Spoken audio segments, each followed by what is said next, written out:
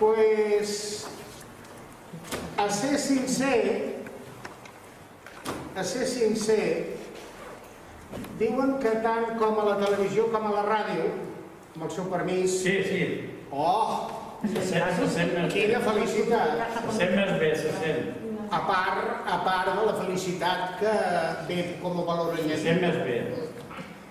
Sí? Se'n sent, sí, ara sí. Perfecte, perfecte. Sí. Tinc que ser sincer. Molt bé. Ho soc sempre, eh? Sí, però, però a Cal dir que ho soc sempre, eh? Bueno, se, se, sempre que vull, sempre que em deixen i, sem, i sempre que. Uh, el, el nostre estimat Ramon Rosselló ha nombrat el coronavirus i, curiosament,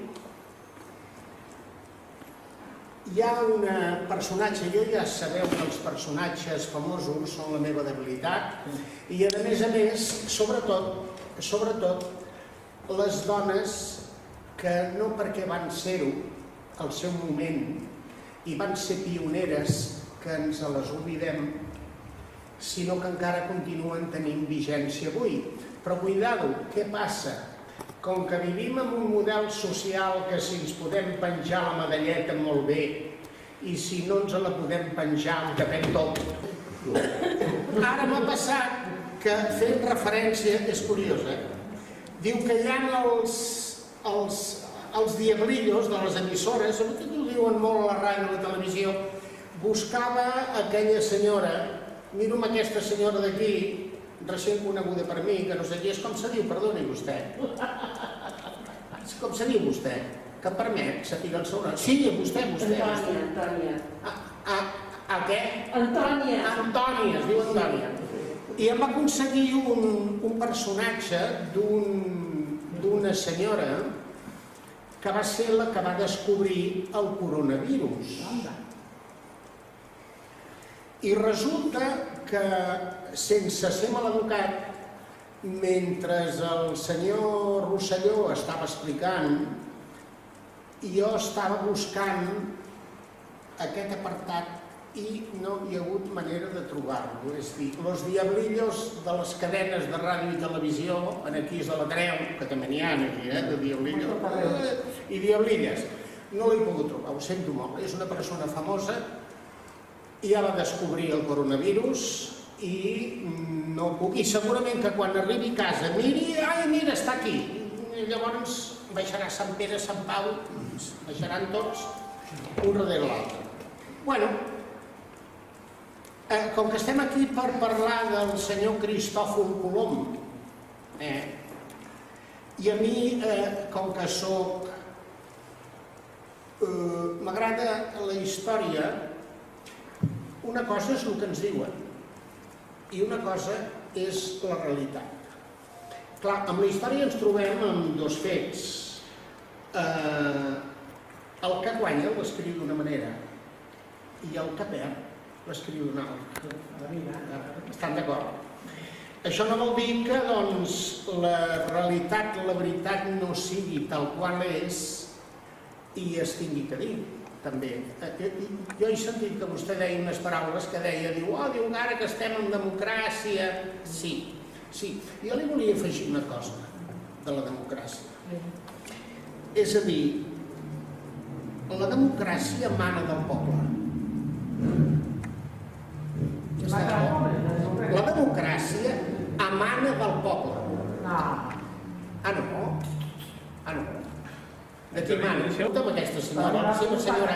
La democràcia emana del poble i hem de tindre en compte que gràcies a la Revolució Francesa va ser l'inici de la democràcia, va ser quan les, els, els súbdits i súbdites van deixar de ser això per convertir-se en ciutadanes i ciutadans lliures.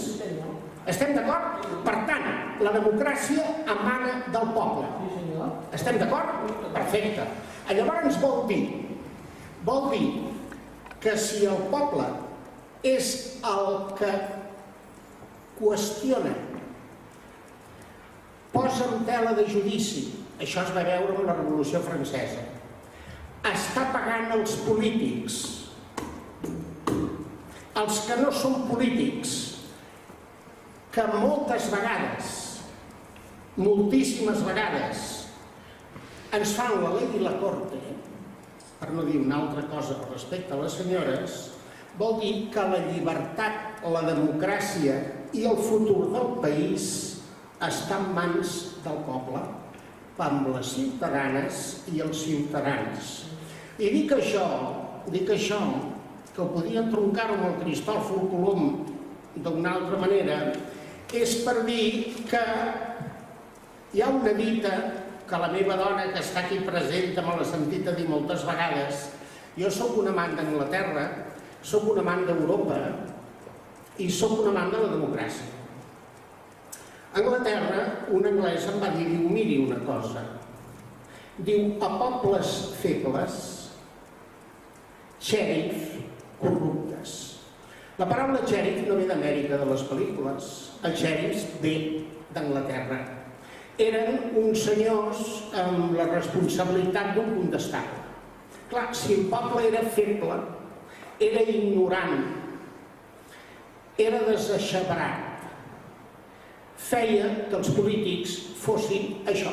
Però cal afegir una cosa, que eren molt interessats i que vivien ells i que no deixaven viure el poble. Jo no sé si vostès se n'en recordaran d'una llegenda urbana, però que a mi m'encanta i d'algun altre que diria, eh, nombraria aquí el, el, bueno, eh, nombraria, nombraria Anglaterra Robin Hood, per exemple. I, i en aquí el nombraria un personatge molt estimat, molt, molt, molt, molt famós, que és el Curro Jiménez. Eh? Bueno, per què existien? Quina, quin leitmotiv els movia? Bueno, els movia, els movia la llibertat i la justícia i que estaven cansats que els prenguessin el pèl. Llavors, això corrobora que en funció del que nosaltres volem farem el país d'una manera o el farem d'una altra. I perdoneu-me que he fet una entrada una miqueta, una miqueta peliaguda, eh, senyor Ramon. Però bueno, entrem amb el Cristòfol. Va, vinga, som-hi. Som-hi. Cristòfol Colom, Cristòforo Colombo. En italiano, Cristoforus Columbus. El supervisor.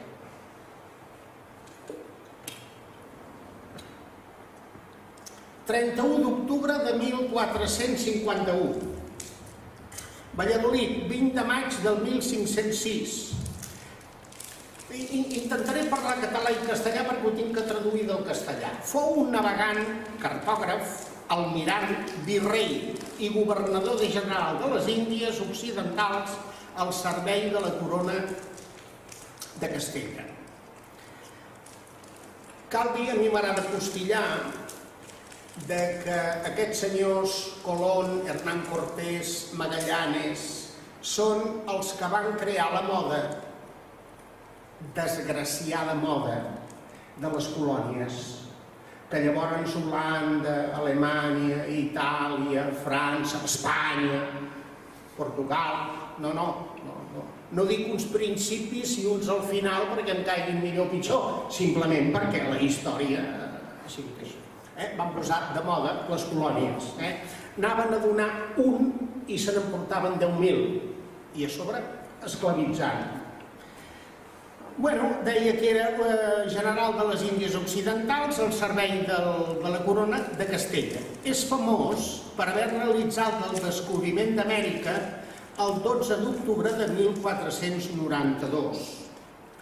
A l'arribar a la illa de Guananani, actualment a les Bahamas.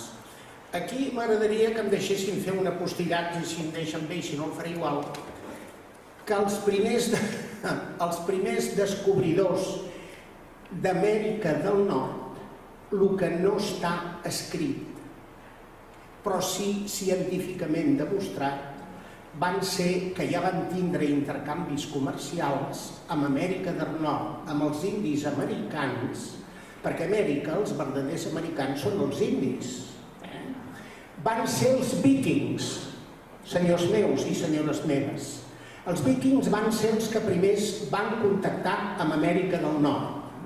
I hi ha proves, inclús els, els, els arqueòlegs eh, han trobat eh, campaments a les costes americanes de, de que els vikings es van assentar allà per temporades llargues. Dit això, cal dir que aquests senyors van descobrir Amèrica del Sud, no Amèrica del Nord. Eh? La, la, la verdadera Amèrica dels, dels indis que veiem a les pel·lícules tan demostrats van ser els vikings. Dit això, fer un aclariment, diu, va efectuar quatre viatges a les Índies, denominació del continent americà, hasta la publicació del planísfero de Martin Blaskenmeyer, el 1507, i encara possiblement no fou el primer explorador europeu d'Amèrica, se'l considera el descobridor d'un nou continent, per això cridat el Nou Món. Per Europa, el ser el primer que va traçar una ruta d'ida i tornada a través de l'oceà Atlàntic i va donar a conèixer la notícia. Aquest fet eh, impulsat decisivament l'expansió mundial de la civilització europea, del cristianisme així com la conquesta i colonització per vàries de les potències del continent americà. És a dir, con la cruz yo te bendigo, te lo saco todo, a favor de la monarquia i, com deia abans, et dono una creu i te m'emporto l'or. Eh? Perquè la gent, que van anar, o sigui, la gent que van anar allà, tant amb el Magallanes com amb el Colom, com amb tota aquesta gent, la majoria eren, com ha passat al llarg de la història, elements que no tenien un caure morts, militars que van anar a buscar fortuna i galons i que anaven expoliant. Eh? Aquesta, és la, aquesta és la raó i, i me remuntaria a la Segona Guerra Mundial amb altres fets que no m'hi vull remuntar ara. Diu, el seu antroponòmic és un icon mundial que inspirà innoperables denominacions com la d'un país, Colòmbia, i dues regions de Nord-Amèrica, la Colúmbia Britànica, el Canadà, i el districte de Colúmbia, als Estats Units. Aquesta seria l'entrada, és a dir, això seria el consumer. Eh? Eh, diu, Cristóbal Colom sostenia que podia que podria alcançar el, el llunyà Orient, conegut a l'època com les Índies. Ja sabeu que en el fons, tant Magallanes com Hernán Cortés i els portuguesos, sobretot els portuguesos anaven a buscar les, les espècies, espècies que ara fem servir per la cuina, que abans tenien un valor incalculable bueno, per la cuina i per altres coses tenien un valor incalculable i en aquí els portuguesos, no vull remuntar més, tenien en aquell moment la... d'alguna manera eren els que tenien, eh, com diríem vulgarment, la paella pel mànec. D'aquí que Espanya i Portugal tinguessin la mala, la mala, les males relacions. Per què? Perquè Portugal tenia unes havia fet uns tractes amb aquella gent d'allà que els d'aquí encara no ho havien fet. Tenint en compte que els d'aquí, quan van anar allà i van tornar, els van tractar com a miserables. Eh? Recordo el Magallanes, eh? eh? en fi, però això serien altres temes que no hi vull entrar. És dir, sempre hem sigut un país agraït, cal dir. Eh?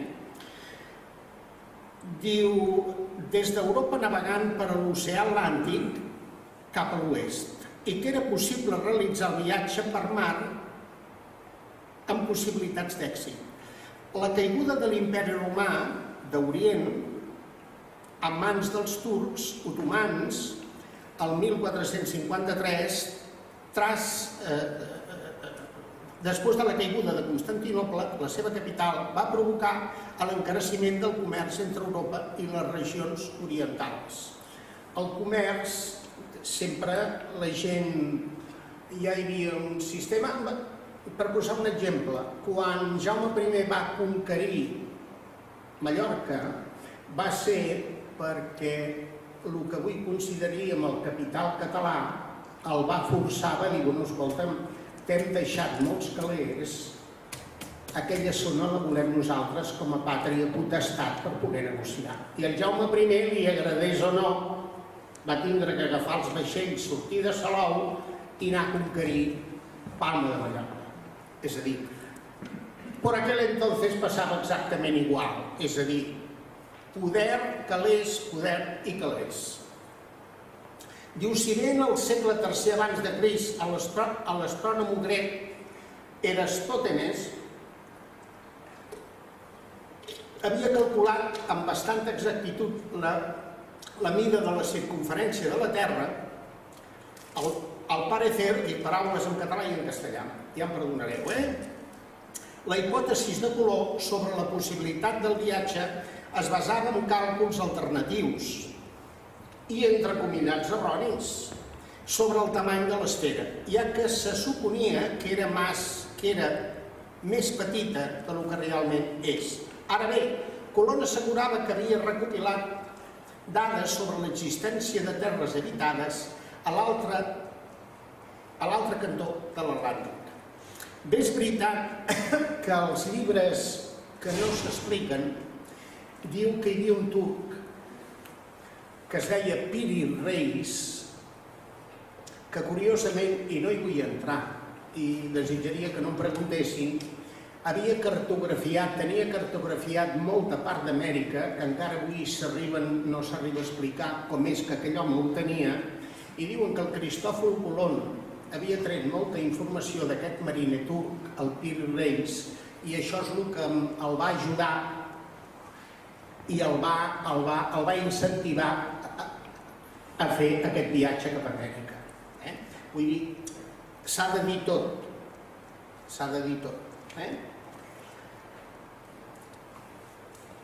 Dels mateixos de, eh, es deduïa que l'extrem oriental d'Àsia es trobava molt més pròxim a Europa del que se suposava als cosmogràfecs de l'època.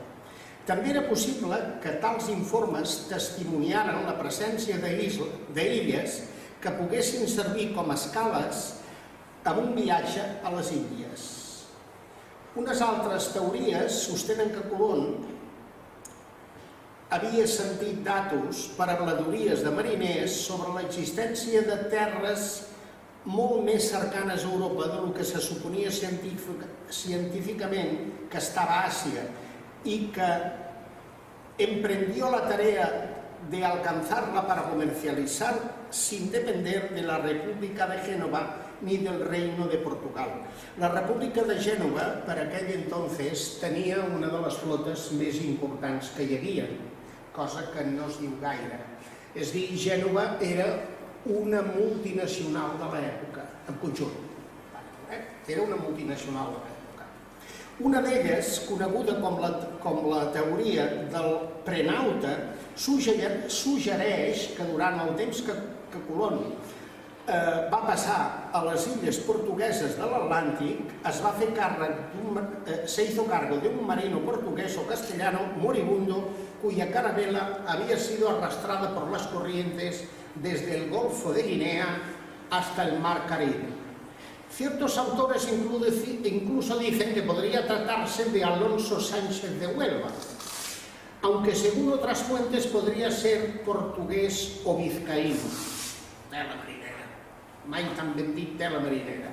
Esta teoría sugiere que el prenauta le confió a Colin el secreto y algunos estudiosos opinan que la prueba más contundente a favor de esta teoría son las capitulaciones de Santa Fe, entre de sants y santas historias, puesto que hablan de lo que ha descubierto en los mares océanos, al tiempo que otorgan a Colón una serie de privilegios no otorgados hasta entonces a nadie, Teniu en compte que eh, jo us he nombrat aquest mariner turc, el Piri Reis, i aquí n'hi ha l'ombra. No es nombra en tota la història del... es, es nombren llibres que si ho vols saber han d'anar per una altra banda. Eh? És com els papiros del Mar Muerto, eh? aquí ens remuntaríem a Jesucrist i totes aquestes històries. Bueno, pues això és exactament igual. Lo seguro es que Colón no, no solo logró, logró arribar a las costas de América, sino que regresó a Europa, realizando un total de cuatro viajes y dando origen a una ruta para la navegación periódica y segura entre Europa y América, aunque es sabido que los siberianos habían llegado a América en el Pleistoceno y que existe documentación que habla sobre posibles viajes anteriores realizados por los cartagineses. Ahí queda eso. Musulmanes y andalusís, vikingos o chinos. Va haver-hi un emperador xino que va formar una, una flota que van contactar amb Europa, els xinos, cosa que tenien una política de tancament, van construir uns vaixells tan grans que dintre la coberta d'un vaixell dels xinos d'aquella època hi cabien quatre caravel·les. Quatre. Eh? És una història molt maca que la vull dedicar a un altre moment. No, obstante, es a partir de los viajes de Colón y otros exploradores y conquistadores que le sucedieron cuando se establecieron vínculos permanentes con Europa y se puede hablar de descubrimiento al haber reconocimiento de las naciones implicadas y testimonios contrastables de la época. A partir de este encuentro, algunas potencias europeas invadieron el territorio americano imponiendo su dominio político, cultural, religioso sobre les cultures locals. És a dir, van destruir tot el que hi havia pràcticament per, per, per, per això ha passat a tota la història. Colón proyectó su viaje con el fin de traer de Oriente mercancías, en especial especias y oro. El camino de la especiería que incluía las especias, la seda y otros productos originarios del Extremo Oriente habían llegado a través de los siglos siempre por la ruta comercial que atravesaba Asia hasta Europa, por Asia Menor y Egipto. És, és dir, parlem de la ruta de la seda, aquella cèlebre ruta de la seda. Pero a partir de la expansión del Imperio Otomano, esta vía se hizo difícil, lógicamente, y quedó monopolizada por ellos y sus socios, los mercaderes italianos. Perquè, és clar, Itàlia i Venècia no lligaven. I aquí hi havia uns tercers, i ara podríem parlar d'avui, que no parlaré, i ho entroncaria amb el coronavirus, perquè és una guerra comercial, eh, i entremig hi havia els turcs. És a dir, Gènova, un gran poderiu, Itàlia i Turquia, els turcs. Eh? El que avui diem Turquia. El regne de Portugal y el regne de Castilla, o tanto, tanto monta, en ese entonces los primeros estados de la edad moderna querían esas mercancías sin intermediarios. No volien pagar comissions.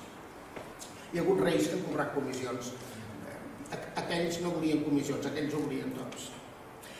Degut Debido a que los portugueses habían conseguido su reconquista contra los musulmanes en el siglo XIII, tomaron la iniciativa en la competencia por alcanzar una nueva ruta de la especiería, que fue una alternativa marítima directa a Asia Oriental. Portugal se lanzó a navegar por el mar Océano, bordeando África y otorgándose el monopolio de dicha navegación por el Océano Atlántico, a excepción de las Islas Canàries. Allà no hi van anar perquè tampoc no, no, no, els, era, no era dient. En 1488 el navegante Bartolomé Díaz encontró el paso por el Cabo de Buena Esperanza que unía la zona del Atlántico con el Océano Índico. És a dir, eh, quan es tenia que navegar per aquella zona, al sud d'Àfrica, quan s'arriba al sud, hi ha el mar de les tormentes, hi ha unes tormentes terribles, allà s'han ensorrat vaixells, no en vulgueu saber més. ¿eh? Y eso es lo que indican aquí.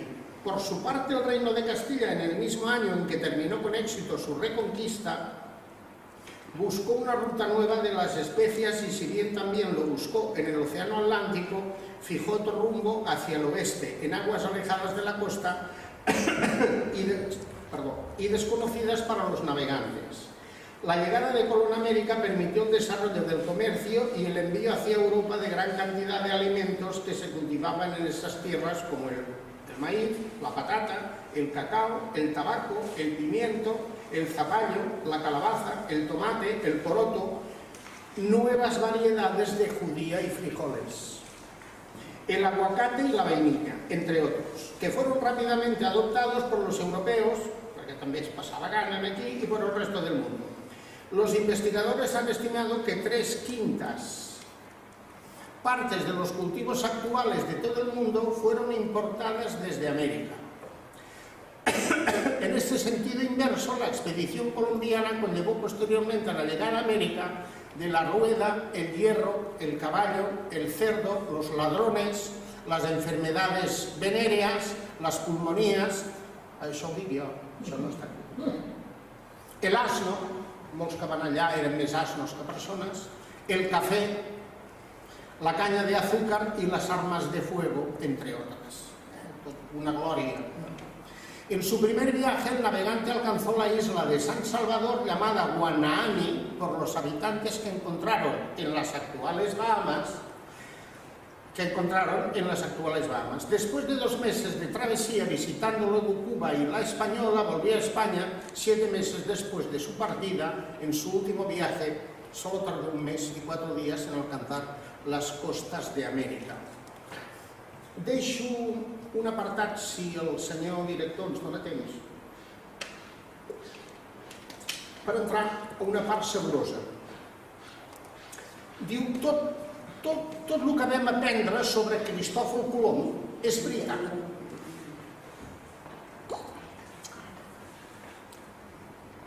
Diu, vam créixer aprenent tot tipus d'històries sobre la fundació, sobre la fundació d'Amèrica. Y, una dels, y uno de los exploradores sobre los que se enseña en este salón de classes en Cristóbal Colom. Però, quan sabem realment sobre com a explorador i el seu famós viatge? Diu, anem a veure. Diu, aquí entrem amb allò que a mi m'agrada, aixecar la catifa.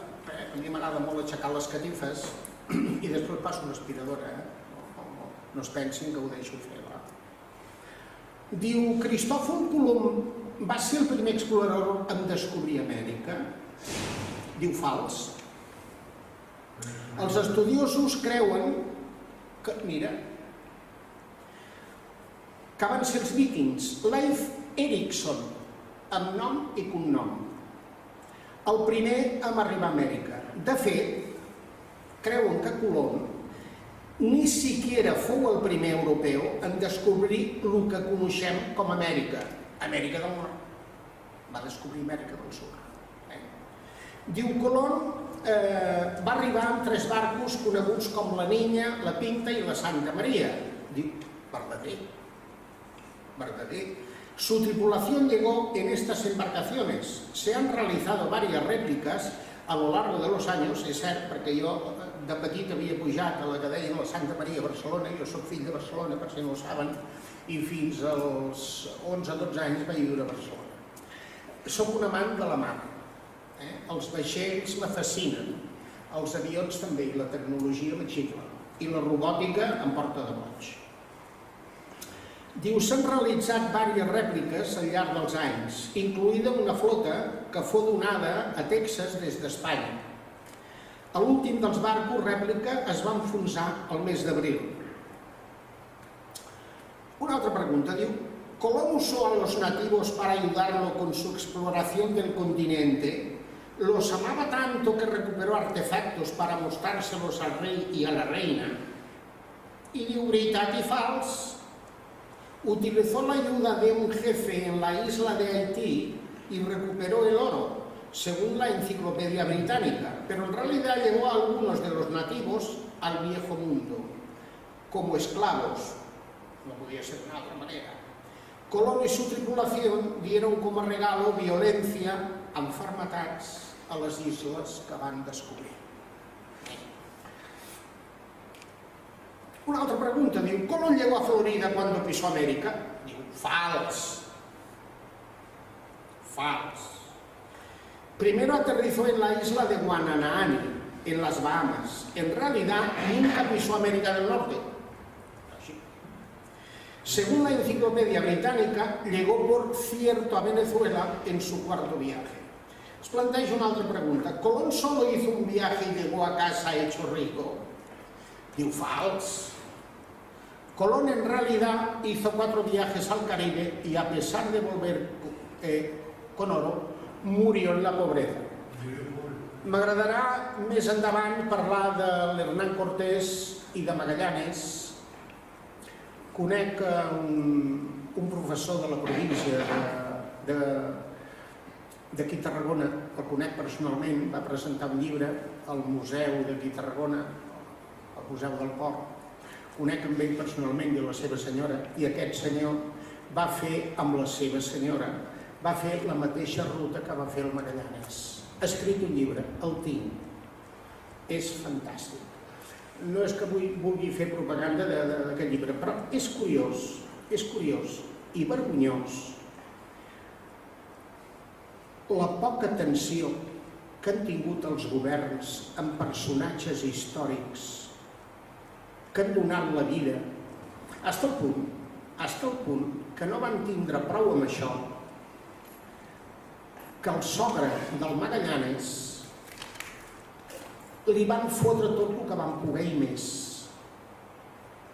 I a la dona, amb la dona, no la van desprotegir del tot del que tenia perquè no van poder. És a dir, desagraïts no en vulguis més, però això ja és la tònica general d'aquest país. Bueno, continuem.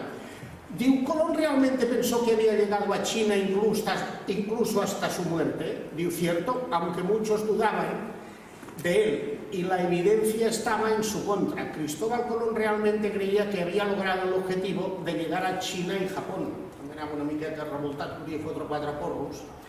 Diu, Colón fue esencial en la colonización de América del Norte, lo que condujo a lo que es hoy Estados Unidos, y cierto, aunque técnicamente no descubrió Estados Unidos, la que del Nord, tuvo un gran impacto en la exploración del Atlántico y finalmente en la colonización. Una altra pregunta, diu, el día que Colón celebrando en Estados Unidos, diu, el día de Colón celebrado en Estados Unidos es una fiesta moderna establecida en la, en la década de 1900, diu, falso, falso. El presidente Benjamin Harrison estableció una celebración del Día de Colón en el 400 aniversario del desembarco de Colón en 1892, que és molt diferent del que planteja aquesta pregunta. Diu, el districte de Colúmbia porta el nom en homenatge a Cristóbal Colón, diu, verdadero. Varias ciutats, ríos y otros puntos de referencia en Estados Unidos también han sido nombrados en honor al explorador. Bé, eh, aquesta seria allò que diem de, de lo que diuen i de lo que no és. Tinc cinc minuts més. Jo penso que s'ha mandat prou de, Sí? de la vida de Això Colón, vol dir eh? que foten fora de l'escenari i s'acaba la Escolta, història. tenim Colón fins al mes que ve, eh? No, bueno, és que ja que ho toquem, toquem-ho bé. I aquí és que diu hipòtesis catalana. Molt bé, molt bé. Hipòtesis Això catalana. deixem-ho pel mes que ve. home. Vinga, les Vinga. hipòtesis pel mes que Vinga, ve. que, que han de tancar la paradeta. Visca la Això, revolució. Vinga, Eh, que... Són bé vostè, Ramon. has carregat tres quarts d'hora aquí en aquesta Calla, taula, què eh? Macho, tinc la de camina calenta, eh? I no em dieu res. Vinga, ja. Un, un, d'això. Yo no me fijo en eso. Eh? Un compte de comptes. Bastante Vinga, gràcies. Companys, donem per acabada la sessió, que ja ha estat bé, i gràcies per la vostra atenció i la vostra presència, i em penso que, doncs, vull dir, han complert. Ha faltat la Isabel Castellnou, em pensava que era aquella senyora que ens cantaria, ens ha entrat amb el barretet i té la forma de la Isabel, i no és. Diu que també canta, però, però no, la- no la coneixem. Bueno. Vale, amics, fins a la propera, eh?